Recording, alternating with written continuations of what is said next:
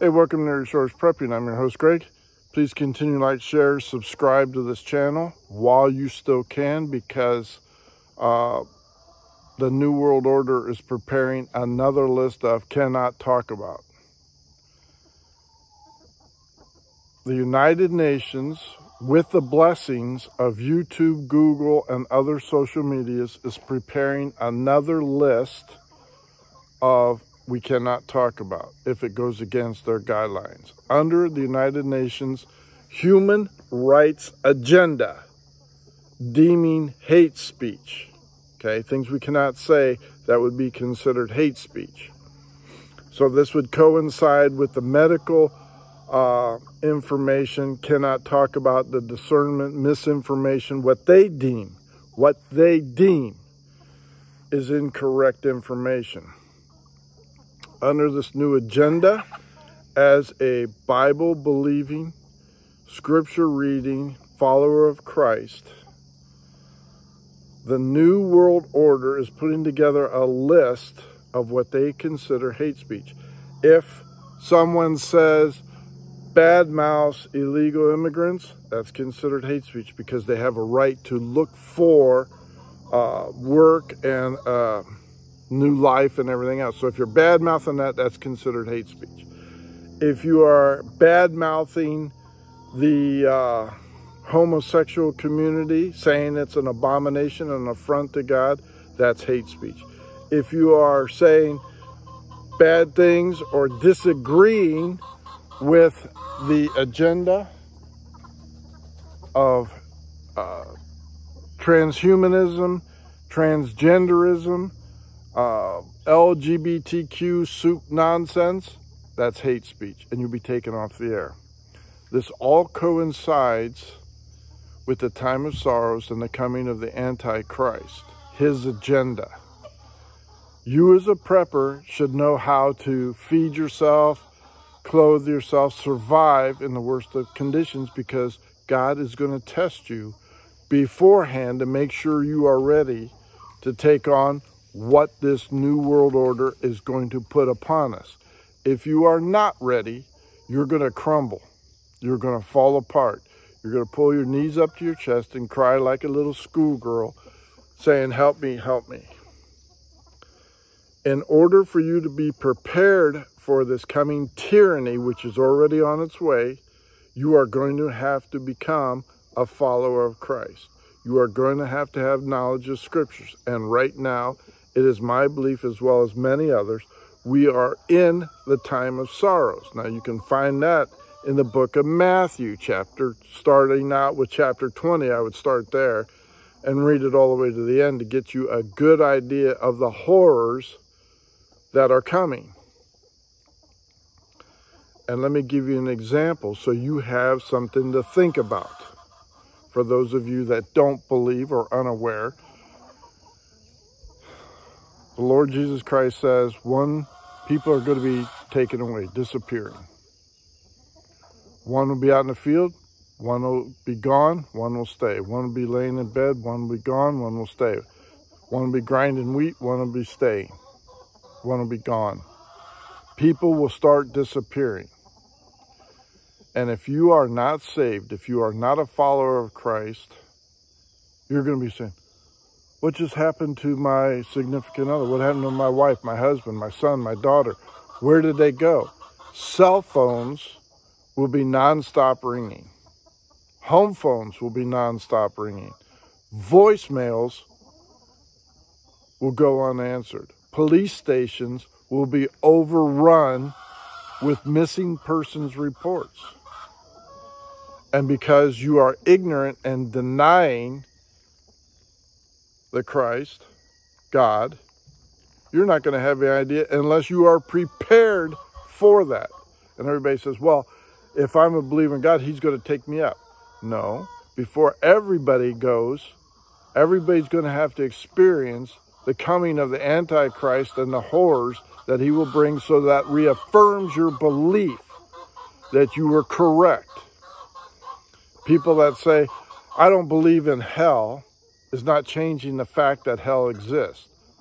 people can also say, well, the sun isn't rising. You look outside and you say, well, the sun's bright and shiny. You're an idiot.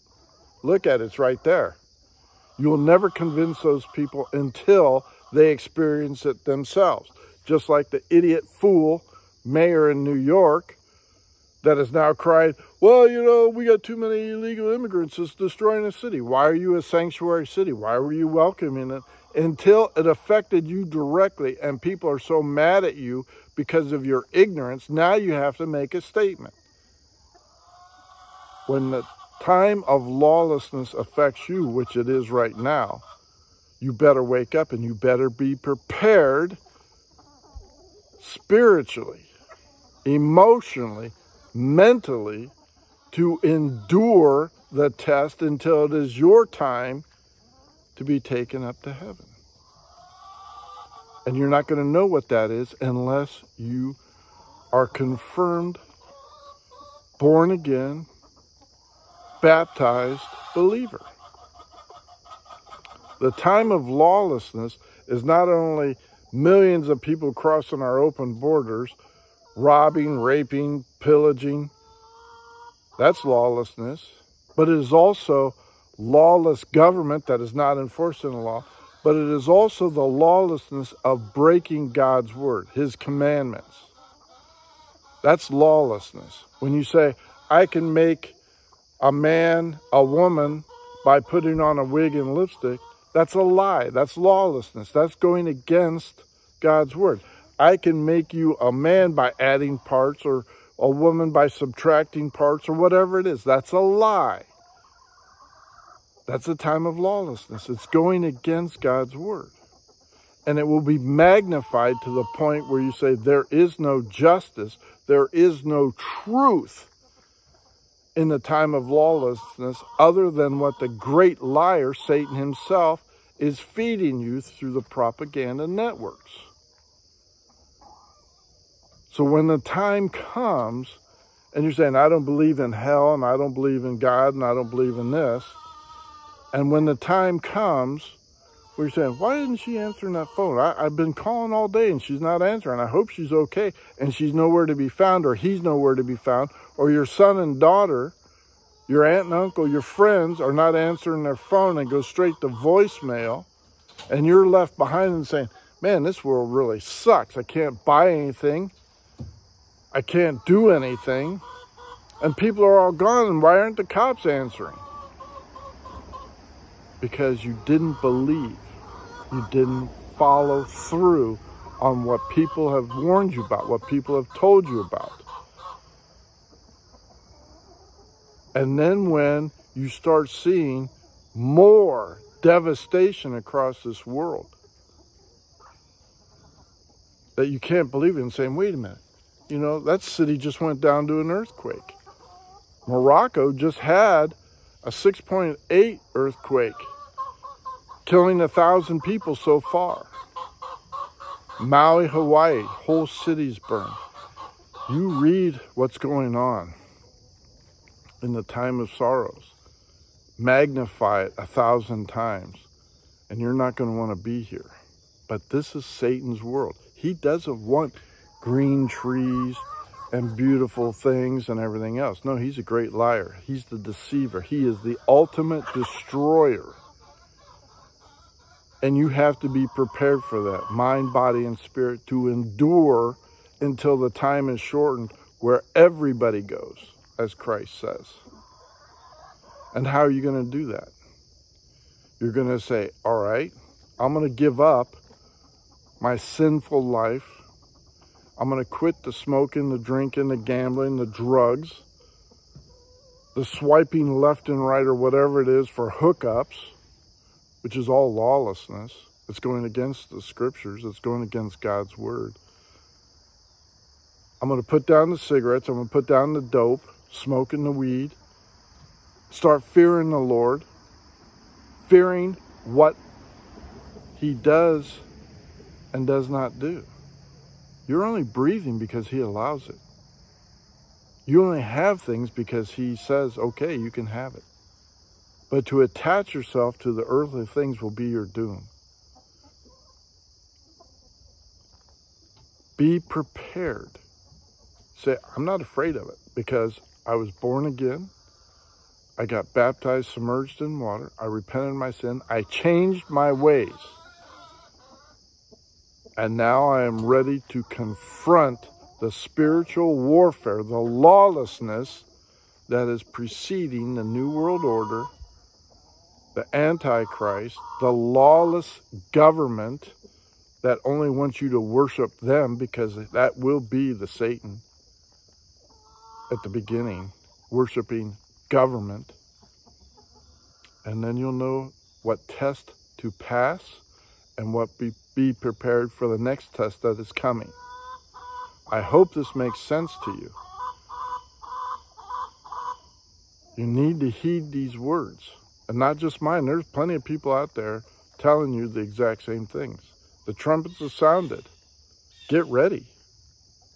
If you're saying, I don't believe in hell, it doesn't make any difference. It still exists.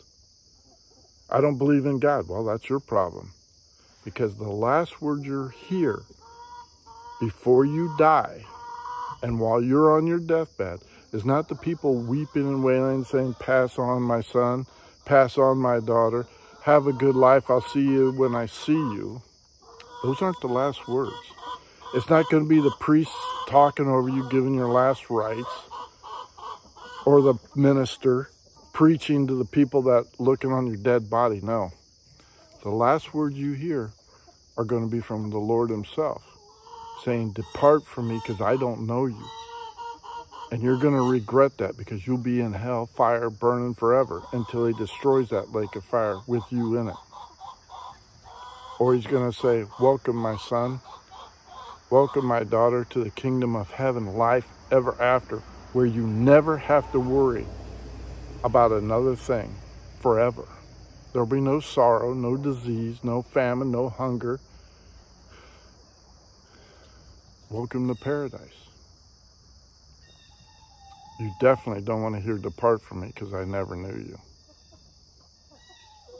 Those will be the last words you'll ever hear. You think about it.